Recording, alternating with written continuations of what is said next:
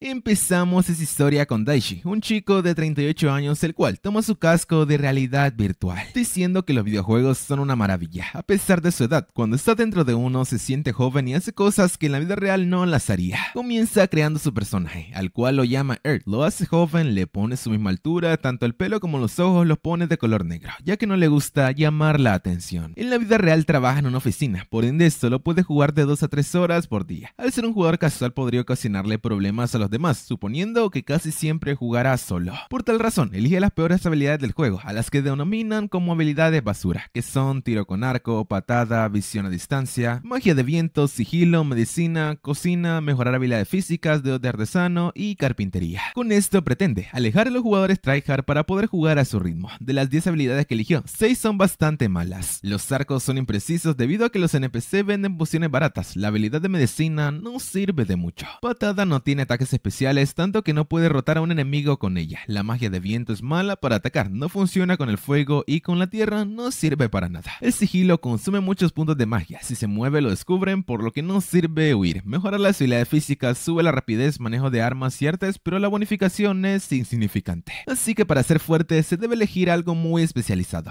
Ende, al tener muchas habilidades malas, nadie querrá jugar con él, con lo que se espera poder jugar tranquilo. Termina el personaje e inicia sesión. El juego se llama One More Free Life Online, en el cual se puede disfrutar de otra vida. No se debe derrotar a un jefe final, por lo tanto se puede pasar peleando. Especializarse en la creación de objetos o bien andar por ahí hablando con otros jugadores, en pocas palabras se puede ser lo que se le antoje. Earth se asoma en la ciudad, sorprendió al ver que no esperaba muchos jugadores. Una chica lo saluda y le dice que vende utensilios. Mientras se dirigía, lo chocan por la espalda. El tipo le dice que los arcos son basura, se ríen de él, lo patea y se marcha. Luego de ese incidente se levanta y se dirige al recinto de entrenamiento. Comenzando a practicar, se da cuenta que el arco es más impreciso de lo que creía. Aún así persiste y logra subir al nivel 3. De igual forma mejora su magia de viento y las patadas, quedando todo al mismo nivel. Con esto cree que es hora de salir a cazar. Ve que hay demasiada gente intentando esta actividad, razón por la cual decide ir a recolectar hierbas. Usa su visión a distancia para detectarlas. Recoge una y se percata que no puede identificarlas. Vuelve a la ciudad, donde está aprendiendo a identificar las hierbas. Al principio las perdía antes de reconocerlas, pero ya le está descubriendo el funcionamiento, con lo que sube su medicina a nivel 3, averiguando a qué categoría pertenece cada hierba. El problema es que se encontró con dos, las cuales si alguien las consume, automáticamente se va al otro barrio. Posteriormente adquirió un equipo para practicar el hacer pociones. Se pone manos a la obra creando una poción curativa común. Lo bueno es que al crear algo luego puede crearlos en lotes, la calidad de los objetos es menor, pero es más fácil de hacer. De igual forma crea el antiveneno común, continua sus pociones, se percata que sube el nivel 7 en medicina y de la misma forma sube dedos de artesano. Al saber que los NPCs les pueden vender pociones baratas, se cuestiona que alguien querrá sus pociones. Tomando la decisión de salir a cazar, se fija que la zona ya está despejada, por lo que no deberá discutir con nadie para cazar monstruos. En ese instante del arbusto sale un cuerno conejo, intenta cazarlo con su arco, pero este lo esquiva. Acto seguido lo ataca, logra clavarle una flecha, sin embargo se enoja más, a lo que el prota lo vence usando patada. Una vez derrotado, consigue carne y piel de cuerno conejo. En ese momento llega un chico y una chica, felicitándolo por el espectáculo, aunque este se suelta en risa. No puede parar, ya que nunca había escuchado a un cuerno conejo hacer esa clase de ruidos. De pronto se detiene, le dice a Air que es bastante interesante presentándose como soy y la chica Millie. Ambos quieren enviarle la solicitud de amistad. Este acepta, lo que el chico se emociona por tener compañero. Le envían la solicitud y se despide. Este piensa que debe ganar más experiencia, debido a que se dilató mucho en matar a un solo enemigo. Intenta cazar a otro cuerno conejo, este lo ve y huye, por lo que usa su magia de viento y logra acertar. Pero sigue pensando en cómo puede ocultarse mejor, recordando que tiene la habilidad de sigilo. Usa esta habilidad y logra dar un golpe crítico, descubriendo que usando ambas habilidades obtiene mejores resultados, por lo que ahora sabe cuál es su siguiente paso. De esta forma se desconecta para luego irse a dormir. El día siguiente va caminando comiéndose un pancito, el cual no le ceba nada, por esta razón se compra su kit de cocina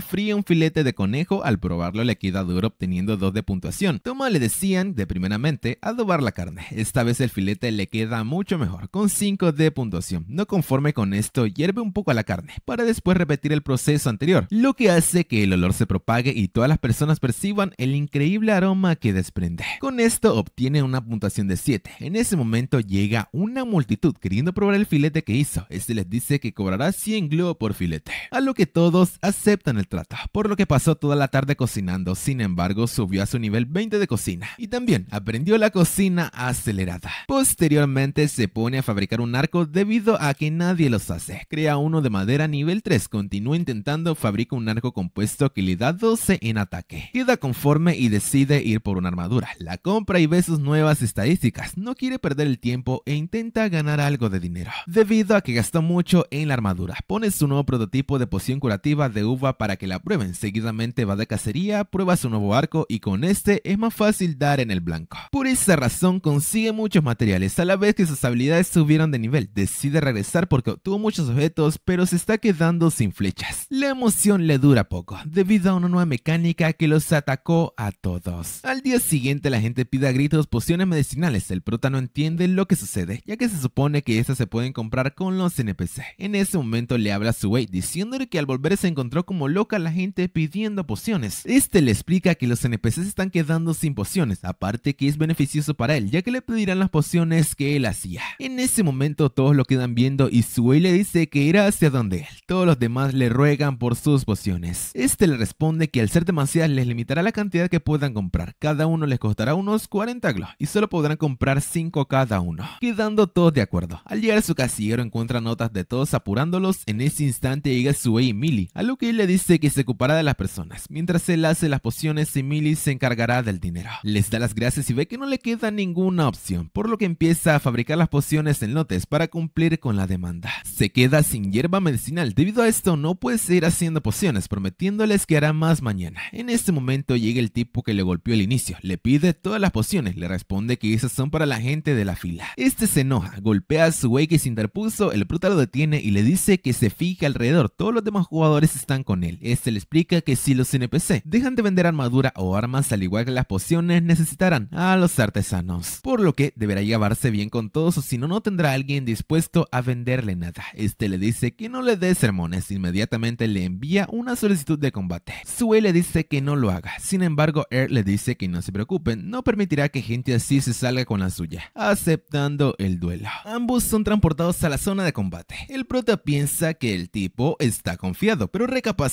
que es mejor así porque su arrogancia le permitirá darle en su punto débil. Este ataca con su espada. El prota lo esquiva dándole un rodillazo en el mentón. Seguidamente aprovecha el momento para dispararle una flecha en la garganta, mientras piensa que los arqueros deben atacar de lejos, asestando otra flecha y ganando el combate. Los secuaces del tipo lo toman y se lo llevan. El prota les dice a las personas que recolectará hierba para venderles pociones el día de mañana. En ese instante se desconecta de la partida diciendo que el trabajo duro rindió sus frutos, pensando que quizás ahora los artesanos se ignoren a este grupo, por lo que es probable que dejen el juego. Se marcha a la vez que le llega un mensaje de Suei con una invitación a su grupo. Pasan varios días desde que desaparecieron las pociones, el mundo del juego cambió un poco, la medicina ya no se considera una habilidad débil. Al saber que los NPCs se pueden quedar sin objetos, le dieron a esta habilidad una segunda oportunidad. Inicia una nueva partida, sin saber qué hará el día de hoy se conecta, se encuentra con Suei, le da las gracias por la invitación, ya que no sabía que lideraba un gremio. Este le presenta a los miembros de Blue Collar, del cual ya conocía a Millie. Una chica llamada Nora se presenta y le dice que es experta en combate con espadas cortas. El prota se le queda viendo, Suei le dice que ni se le ocurra decirle que está plana o alguna broma sobre las tablas de planchar. Este solo asienta con la cabeza.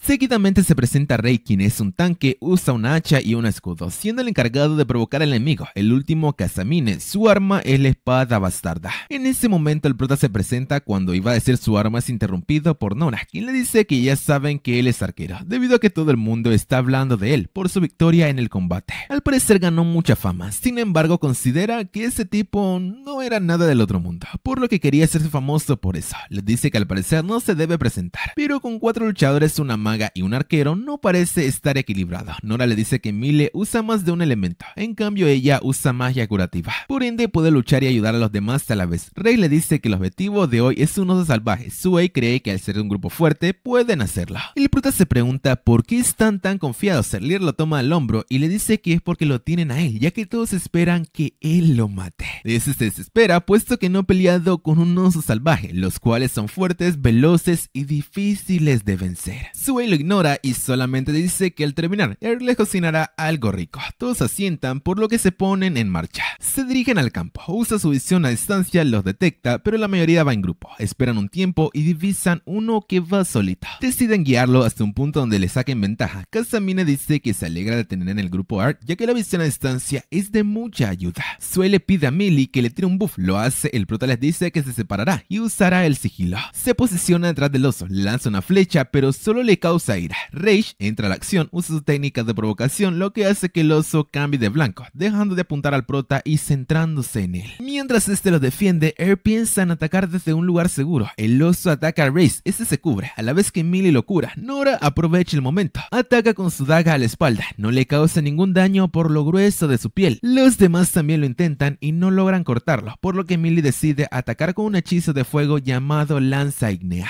No le hace nada, Ray vuelve a usar la provocación, retiene al oso, a la vez que las chicas lo curan. Sui se da cuenta que lo subestimó y Nora se está quedando sin puntos de magia. Air piensa que debe hacer algo para cambiar la situación, confía en sus 38 años de experiencia de vida y se arriesgará, pensando en disparar a la frente. Quizás ese sea su punto débil, solo tiene una oportunidad. Si no lo logra, no se sentirá digno de pertenecer al grupo. Dan el blanco, pero no le causa daño, y el oso solo sigue aumentando su furia. De seguir así, terminará aniquilados. El prota piensa en usar su último recurso, usa su magia de viento que lo acelera por 10 segundos y con una patada empuja la flecha que tenía el oso en la frente, rematándolo Millie con su ataque de fuego. De esta forma, por fin, logran vencerlo. Suei pide disculpas ya que no pensó que sería así de difícil. Él les dice que no importa que mejor vayan a comer, puesto que les trajo un plato nuevo. Todos se alegran porque estaban esperando este momento. Él les prepara brocheta de lobo, todos quedan encantados por su rico sabor, a excepción de Suei a quien le dio pan. Este le dice que solo es una broma y le entrega su brocheta. Nora le pregunta si las recetas para cocinar son caras, respondiendo que no se pueden comprar debido a una regla no escrita que les prohíbe intercambiar las recetas. Le preguntan el por qué, explicándoles que elaborar una cuesta mucho tiempo y dinero. Además que si dos personas siguen la receta pueden acabar siendo cosas muy distintas, incluso con los mismos ingredientes, ya que todo es producto de la creatividad del creador. Aunque copien la receta, no pueden copiar la calidad, o al menos eso es lo que se dice. Nora le dice que entendió, aunque le compre la receta, no podrá hacerla igual. Y en este instante, Zoe dice que a partir de ahora Earl les cocinará a precios bajos. Ese se enoja y el otro continúa diciendo que les alegra saber que se le haya unido al grupo, todos diciendo que sí. En ese momento, los demás del grupo le envían solicitud de amistad al prota, alegrándose que su primera aventura con un grupo fue un éxito.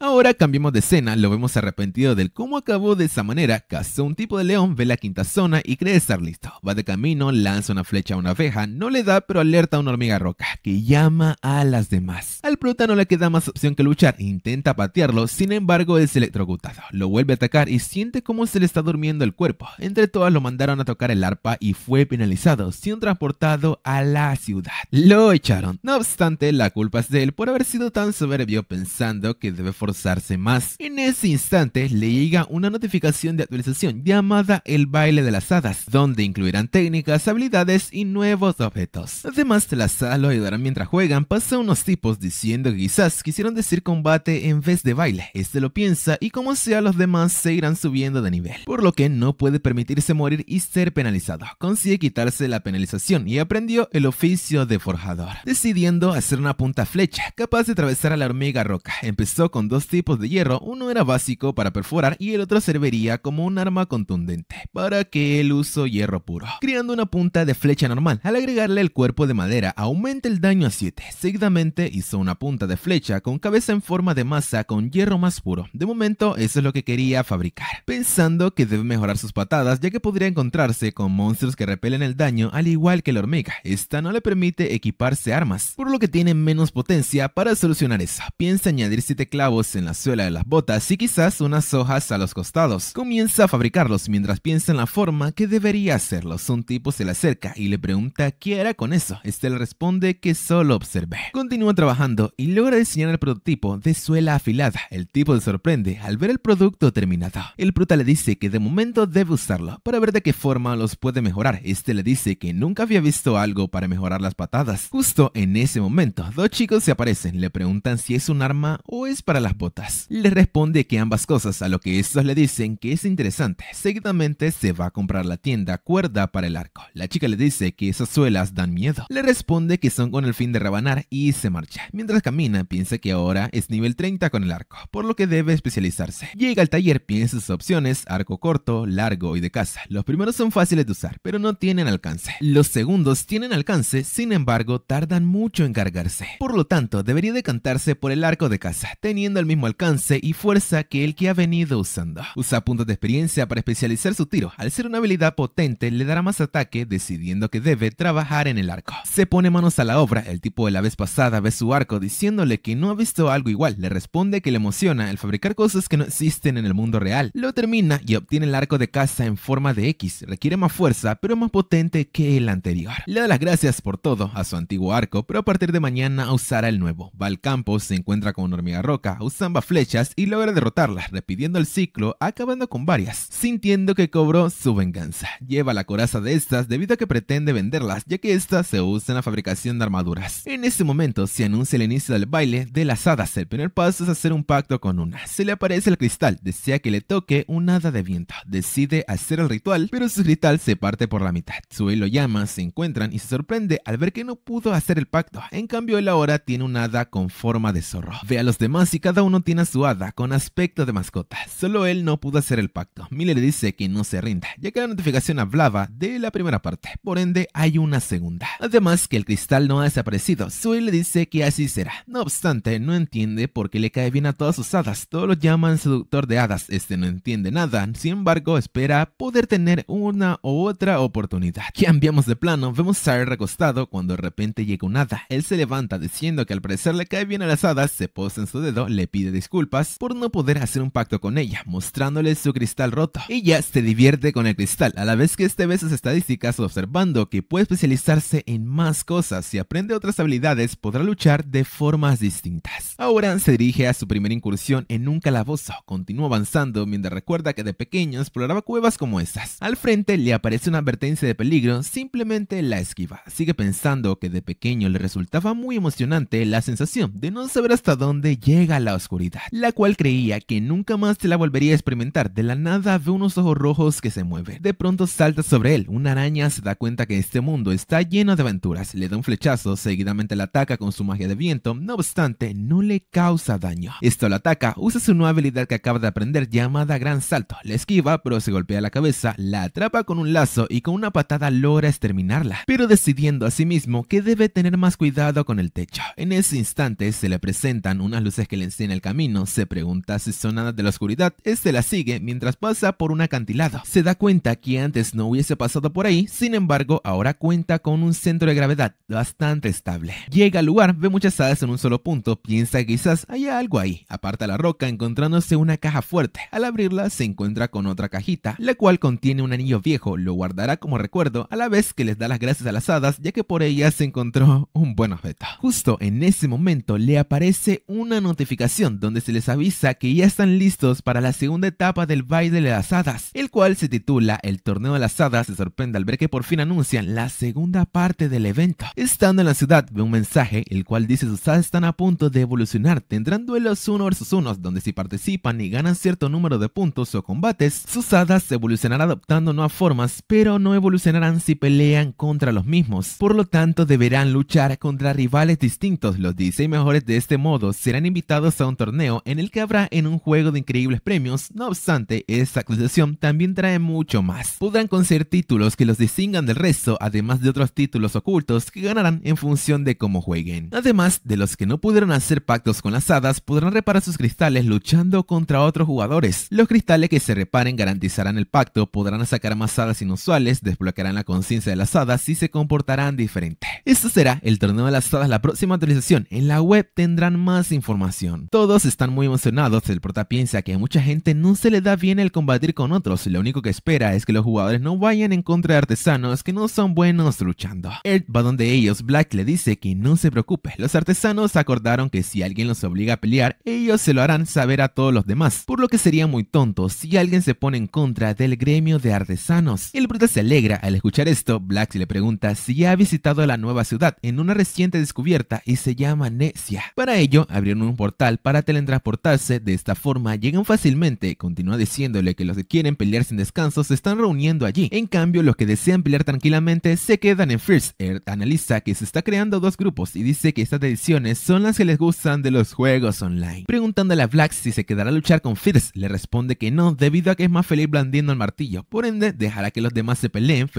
felicitándolo porque así es como habla un verdadero artesano. Air piensa que si hay muchas formas de disfrutar un evento y no sabe qué hacer, se conecta después de un tiempo. Suele pasar cada vez que aplican parches, recuerda que dijeron que iban a aplicar títulos. En ese momento, la gente de su alrededor lo mira, se sorprenden por el título que posee. Al ver esto, revisa qué título tiene, dándose cuenta que es seductor de hadas, quedando al lado al leer esto y no entender el título que tiene. Piensa que es humillante y todos lo pueden ver, además llama mucho la atención. Piensa que este desaparecerá si lucha, pidiendo a gritos que por favor alguien luche contra él, recibiendo un desafío por parte de Rona. Ese se emociona, dándole las gracias a lo que ella le dice que no se preocupe y lo llama por su nombre. El prota le pregunta de dónde lo conoce, respondiéndole que es parte de Blue Collar, poniéndose feliz al saber que es parte del gremio de Suey. Ella le dice que sí, como ella tiene la habilidad de artes marciales y él tiene la de las patadas, es por eso que lleva bastante tiempo queriendo conocerlo. Le da las gracias, aunque de igual forma van a luchar. El hada de Rona se posa sobre el prota. Ella no entiende qué pasa, debido a que es muy tímido, sin embargo toca no a la solicitud del duelo. Ambos quedan asustados ante este acto. El hada sigue al prota, a lo que los demás dicen que le hace justicia a su nombre. Er desespera y pide que alguien luche contra él, repitiéndose el ciclo una y otra vez. No podía obligar a ningún hada a pelear si ella se ponía, por lo que piensa que lo tienen harto los desarrolladores. Mientras cocina, lo llama Rona, él le pregunta si su hada no quiere comer, además de que le pedirá que cocine para ella. Se sorprende al escuchar esto, preguntándole cómo supo. El prota le dice que tiene a medio servidor diciéndole lo mismo, le pregunta cómo habrá pasado. Recuerda que alguien le pidió comida para las hadas debido a que solo le ha dado pan de los NPC, pero no lo comen. Es por eso que pensó que el hombre que hizo el filete sería capaz de preparar algo que le guste. Al habérselo pedido con tanta educación, no estaría bien decirle que no. Es por eso que hizo frituras, las cuales pensó que le usarían al hada. Se corrió la voz, por esta razón todos comenzaron a hacerle pedidos, limitándolos a tres por persona. Y de repente se encuentra cocinando para toda la ciudad, enfadándose porque no quiere destacar, preguntándose por qué le pasa eso. Ahora le hemos pedirle disculpas a Rona, quien le dice que no debe hacerlo, puesto que él tuvo el gesto de guardarle un poco.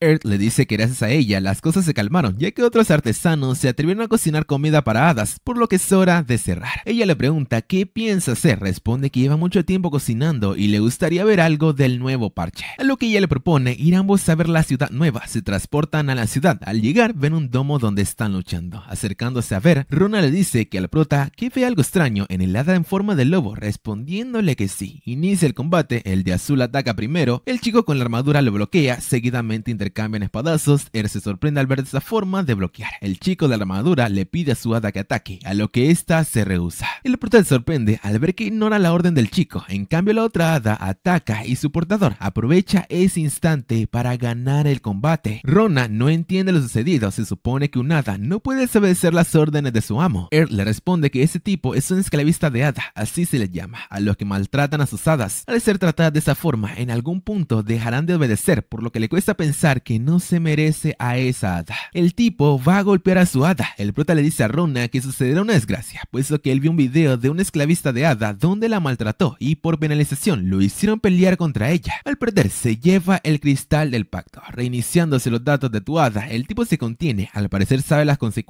Air continúa diciendo que en juegos de antaño también existían mecánicas así. Si dabas muchas órdenes inadmisibles, te atacaban. Acto seguido se despide de ella, se desconecta y piensa que hay gente a la que le importa su hada y otras que no. Cada jugador hace lo que quiere. Al día siguiente, el tipo del lobo se le acerca por su título, preguntándole cómo hacer las paces con su hada, debido a que vio el video del otro jugador. Le dice que él trata a su hada como mascota de circo, pensando que era lo correcto. El bruto le dice que tras la actualización ganó conciencia, es por eso que dejó de Este le confiesa que la golpeó un par de veces para que le obedeciera, por lo que le pide consejos. Air simplemente le dice que debe tratar a su hada como si fuese su amiga, deben luchar juntos, descansar juntos, cuando termine y vuelva a la ciudad, debe despedirse antes de desconectarse, debe cuidarla y ella lo notará. También debe compartir comida con ella, al escuchar esto le pide que le prepare algo que pueda gustarle y la haga feliz. Le dice que no se preocupe, él se encargará, por lo que le prepara un plato de frituras de cuerno conejo. Este lo toma e intenta dárselo de comer a su hada. Este lo huele, luego lo come y su dueño se siente feliz. Air le dice que si sigue así, poco a poco irán recuperando la relación. Le da las gracias y le pide disculpas a su hada. Mientras se marcha, le dice al prota que si necesita algo volverá. Este queda feliz cuando de pronto escucha una voz que le dice asombroso. Voltea y es un tipo con armadura llamado Silver, que le dice que deben hablar pidiéndole que lo acompañe a un lugar donde no haya mucha gente. Ambos se sitúan en una cabaña. El prota le dice que pueden hablar en ese lugar, percatándose que este va bien equipado, intuyendo que debe ser uno de los mejores jugadores del juego. Este se sienta, le dice que no le robará mucho tiempo. Le pregunta si se ha encontrado con un hombre llamado Glad. Él lo piensa, respondiéndole que no. Este le dice que se rumorea que va tras los jugadores cuyo título es Seductor de Hadas. Por tal razón supone que vendrá tras él. El prota pregunta quién es ese tal Glad. El señor le dice que es miembro de su grupo, el cual era un tanque talentoso, sin embargo tuvieron problemas con su comportamiento. Ese comenzó a ser arrogante y empezó a creerse mejor que los demás. No obstante, cuando empezó el evento en el que Stan fue el único que no hizo un pacto con un hada, él piensa que le pasó igual a él. El señor continuó diciendo que el chico se enojó mucho y se desquitó con los demás miembros del grupo. Al ser el líder no tuvo otro remedio que echarlo. El señor menciona que ya puede salir y aparece una valquiria de luz. El prota le percibe como un hada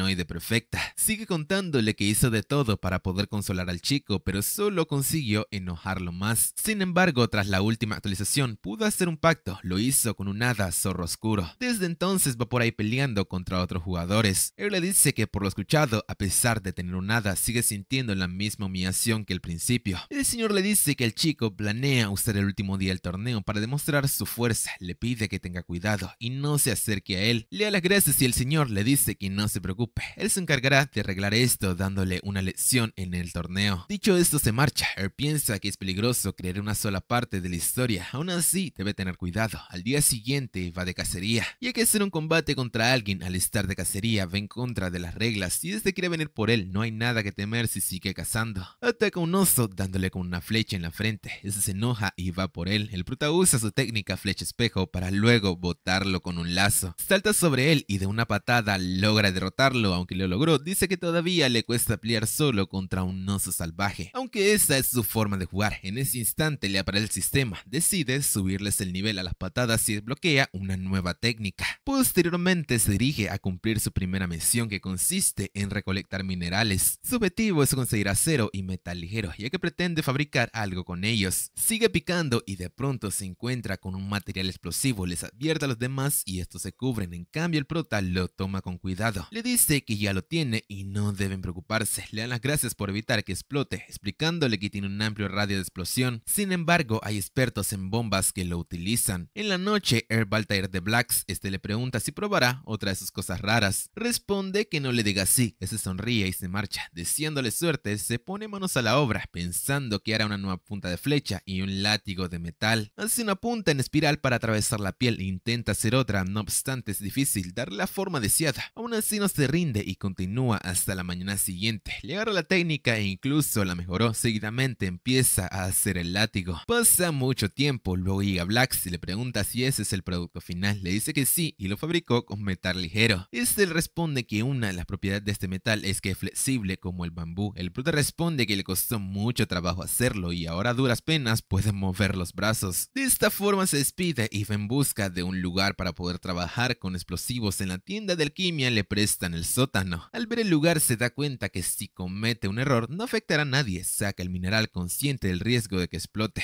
pero no está dispuesto a desperdiciarlo, por lo que verá hasta dónde es capaz de llegar con sus conocimientos en medicina. En eso piensa que el mundo real no es tan metódico, le agota pensar tanto, logra hacer tres pociones diferentes. No obstante, sabe que para descubrir las mejores combinaciones debe experimentar. Tira el primer frasco, resulta ser un fiasco. Ahora tira el segundo y causa una explosión. Producto de ello, perdió el 80% de su salud, descubriendo que es demasiado potente, aunque podría usarla en momentos de emergencia. Nombrándola como aceite de mina infernal, se toma una poción medicinal para recuperar su salud. Seguidamente se dispone a probar el tercer frasco, espera que funcione y obtiene el resultado que busca. Lo llama aceite mejorado y se propone hacer muchos de ese estilo. Pone a prueba su nuevo armamento contra tres osos, les tira un aceite mejorado seguido de una flecha flechas, capturando a uno con su nuevo látigo y cazándolo de una patada, repitiendo el proceso. Logra capturar los tres, pero piensa que no debe abusar de ese aceite o no mejorará sus habilidades. En ese momento el sistema le muestra que ha subido al nivel 50, tanto en arco como en magia de viento. Si continúa podrá aprender la habilidad de arco de caza de polvo eólico, el cual le permitirá añadirle propiedades mágicas a un arma. Piensa que le interesa más tener magia de viento poderosa debido a que solo la usa de apoyo. Confiará en el arco y acepta, le piden confirmar y lo hace. Está ansioso de probar su nueva habilidad, invoca la flecha Gatling, con esa puede lanzar muchas flechas. Sin embargo, por su nivel solo puede lanzar viendo flechas. Ahora prueba la otra habilidad que es viento, se percata que esta puede ser útil de apoyo. Posteriormente va a la tienda a vender las pieles de oso. La chica le pregunta si quiere que le haga un abrigo de pieles. Le responde que sí, ya que quiere reducir el daño que percibe por la espalda, y él responde que se encargará de eso. En ese momento hay un anuncio para los jugadores, el cual dice que están contando los últimos puntos del evento PvP de las hadas. Mientras escucha esto, llega Sway y Millie, lo saludan diciéndole que en su gremio no se han molestado por ese evento, dudando que entren al torneo. En ese instante anuncian a quienes estarán en el torneo. Millie se percata que dos de ellos tienen más batallas y tasa de victorias que los demás. Él se fija que estos son Silver y Glad, preocupándose cómo será su relación. Luego de escuchar lo que este le contó, y aunque no se quiere perder ese combate, dan la bienvenida al torneo, Millie se emociona al ver que prácticamente están todos los jugadores ahí. Al ver a todas esas personas, el prota usa su visión a distancia, encontrando a chicas con el título de seductor de hadas, alegrándose al ver que no es el único. Anuncian el inicio del primer combate, Zoe les dice que los combates serán emocionantes por su nivel, además que deben tener las hadas evolucionadas. El prota cree que si participara tendría suerte con un 10% en sus combates. Acaba el primer combate. Él se fija que pasaron partículas de hada perdedora a la ganadora, preguntándose qué es eso. Los combates continúan y la gente está emocionada. Ahora es momento de presenciar la final. Resulta ser nada más y nada menos que Silver contra Glad. El chico le dice que debe rendirse. El señor solo le responde que quiera que se arrepienta. Este le pregunta cómo y le dice que acabando con él. Ambos se ponen en guardia y dan inicio al combate. Este está parejo. Su es impresión de su nivel y Millie le dice que no por nada son los mejores jugadores. Él piensa que Silver le dijo que se encargará de esto, ataca con su habilidad de luna creciente. Sin embargo, Gla lo esquiva con su magia de viento, recibiendo el ataque de viento cruzado de lleno, terminando con un ataque de su hada. Anuncian el final del torneo, dando como ganadora a Gla. Sue dice que parecía parejo, en cambio el prota le responde que Gla tenía más obsesión por ganar. El lado de este evoluciona, al bajar le dice que se niega a estar más tiempo con él, explicando que el propósito del evento era elegir a la líder de las hadas. El oráculo dijo que sería alguien fuerte, en cambio las hadas no son guerreras. Por esa razón aprendieron de los humanos la ganadora iría adquiriendo la experiencia de la otra, hasta que solo quede una, la cual sería la líder y en este caso es ella. Le dice que su pacto concluyó recordándole cómo decía que se vengaría del viejo y como eso ya lo consiguió. Además él nunca la vio como compañera, sino como herramienta. Es por eso que lo usó para convertirse en reina. Le dice que quizás para él este mundo sea un juego, pero para ella es real. Mi le dice que habla como si fuese verdad. El prota piensa que no pareciera una IA, preguntando si esto será algún experimento. La reina le dice a Glad que le dará 300.000 en monedas Glow, el premio del torneo y un pacto con un nada fuerte. Este se niega apuntándola con su espada. La reina le dice que si quiere usar la fuerza deberán derrotarla. De esta forma reconocerá su fuerza y lo acompañará, pero si pierde no le dará nada. Le dice que no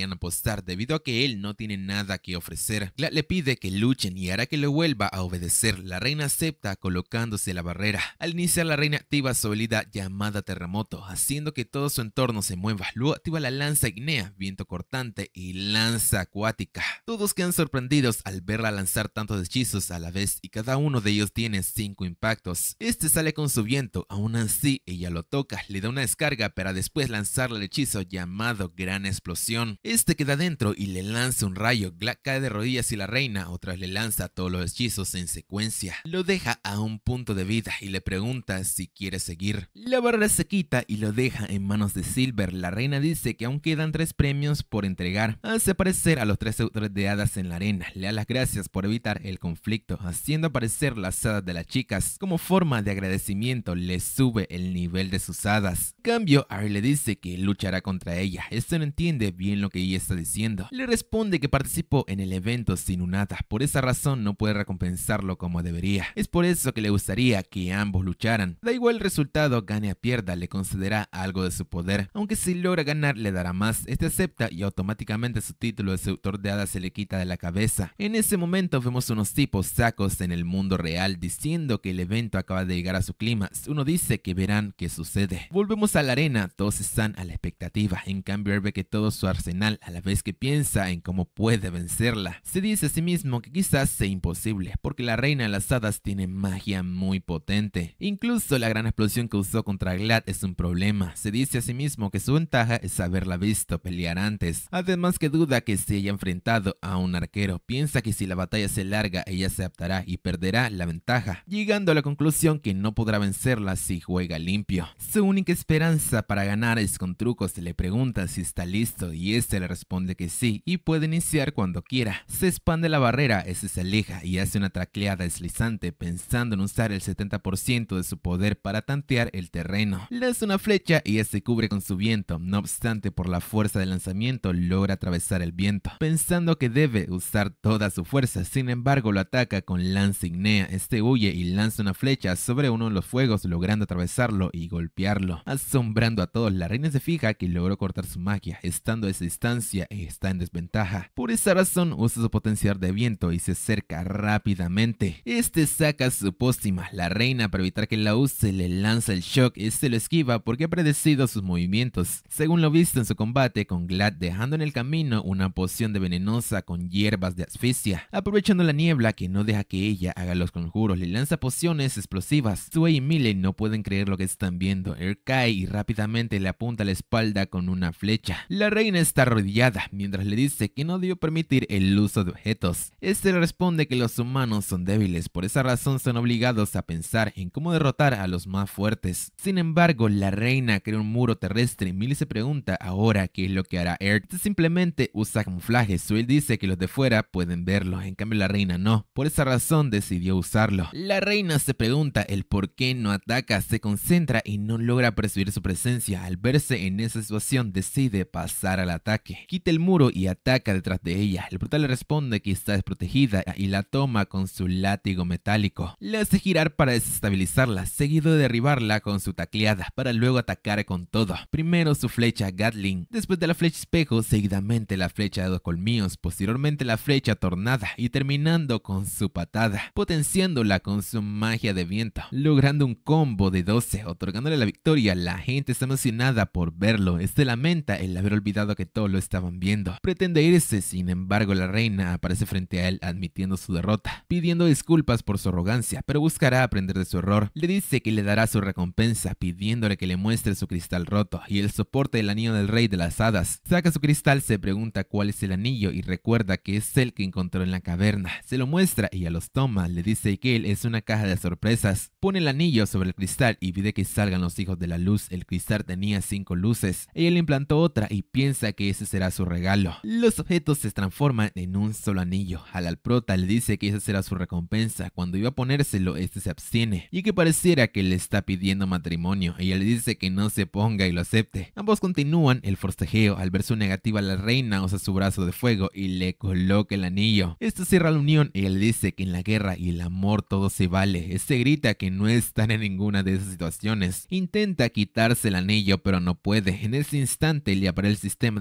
diciéndole que ese es el anillo de la número 87, reina de las hadas. Este contiene el poder de seis hadas elementales. Solo existe uno en el mundo y no se puede equipar. La reina solo sonríe y le dice que será de regreso a su reino. Se despide, el prota que del lado. Millie le dice a Sue que fue divertido. Este responde que sí y que no esperaba la comedia del final de los tortolitos. Air queda arrodillado pensando que así terminó el primer gran evento de One More Free Life Online llamado el baile de las hadas. Luego vemos como tras ver al prota las cosas cambiaron un poco. Su partida fue subida a la página web del juego. La gente vio el potencial del arco y el viento. Ahora más jugadores quieren dominarlos. Como resultado, acabó siendo famoso. Es por eso que decidió alejarse con el fin de poder jugar tranquilo. Pero del anillo sale la reina diciéndole que el anillo es un punto de teletransportación. Este lo ve y ella le dice que iba a darle amor a un hombre solitario y sin nada. Este queda perplejo al escuchar eso y ella le dice que es broma. Este la golpea de forma amistosa diciéndole que así es en realidad y mejor debería de ir a gobernar su reino. Esta responde que gobernar es aburrido y solo quiere relajarse un poco. El prota piensa que al parecer no podrá volver a jugar tranquilo. Ahora el prota camina por la ciudad, no pasa desapercibido. La gente dice que es el esposo de la reina, otros dicen que sus zapatos son geniales. Él se siente incómodo, piensa que debería ir a cazar para relajarse, ya que le gustaría probar algo. Un tipo le hablaba, en cambio él lo ignoró. Ahí vemos un flashback donde le pregunta a la reina qué tipo de hechizo es Prim Nova, puesto que leyó que se puede aprender con el anillo equipado. Le responde que deberá aprenderlo por sí mismo, además es lo que le gusta. Volvemos al presente, el prota está cansando un oso a la vez que le pide a las hadas que lo ayuden, mandando sus oraciones hacia ella, y su gran deseo lo envía para su gobernante. Tiene al oso capturado y continúa diciendo que les ofrece parte de su magia para que la líder de las hadas pueda fortalecer su alma. Pide que le conceda su protección, que la fuerza se convierta en una fuerza que dañe y desespera al enemigo. Pide que su plegaria sea su juramento y la reina lo ayude, ofreciéndole el honor y la gloria de esta victoria. Se llama Earth y la reina número 87 de las hadas le concedió esa habilidad. Pide que se conceda el milagro solo por esta vez, gracias al contrato que juraron. Pide que su deseo se cumpla y si grita Prince Nova en ese instante ve como una bola de magia desciende sobre el oso, generando un gran impacto y terminando con el enemigo hecho piedra. Ahí nos dice que antes de eso lo intentó varias veces, ahora lo vemos cocinando mientras deduce que ese hechizo afecta a los enemigos de un área con efectos de estados aleatorios. La reina le responde que sí y que por cierto hay muchos resultados que alteran al rival, de los cuales parálisis y petrificación son bastante inusuales, además tiene que tener cuidado de usarlo ya que tardará mucho tiempo en recuperarse. La reina toma un bocado, sin embargo este le pega cariñosamente diciéndole que no debe comerse la comida de los clientes. Le responde que la comida del reino de las hadas es muy dulce y quería probar otra cosa.